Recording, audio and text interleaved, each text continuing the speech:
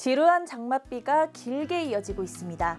밤사이 서울을 포함한 수도권을 시작으로 비가 전국적으로 확대되겠고요.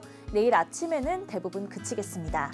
아침까지 예상되는 강수량은 서울을 포함한 수도권과 강원, 충북과 영남에 최대 60mm, 호남에는 30에서 80mm가 내리겠고요. 충남의 많은 곳은 100mm 이상, 경기 북서부에는 80mm 이상이 예상됩니다. 새벽 시간대에는 돌풍과 벼락의 동반에 시간당 20에서 30mm의 집중호우가 예상되는 만큼 주의하셔야겠습니다. 한편 오늘 영덕의 최저 기온은 25도, 속초는 25.7도로 밤 사이에도 기온이 25도를 넘으며 열대야가 관측됐습니다.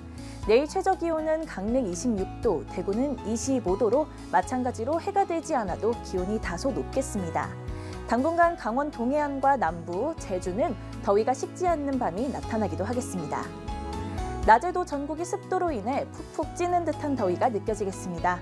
어제부터 남부를 중심으로 폭염주의보가 이어지고 있는데요. 내일은 서울 28도, 대전 30도, 대구와 제주 33도까지 오르겠습니다.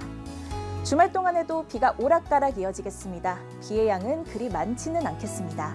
날씨가 이랬다 저랬다 하는 만큼 최신 기상 정보를 자주 확인해 주시는 게 좋겠습니다. 지금까지 날씨였습니다.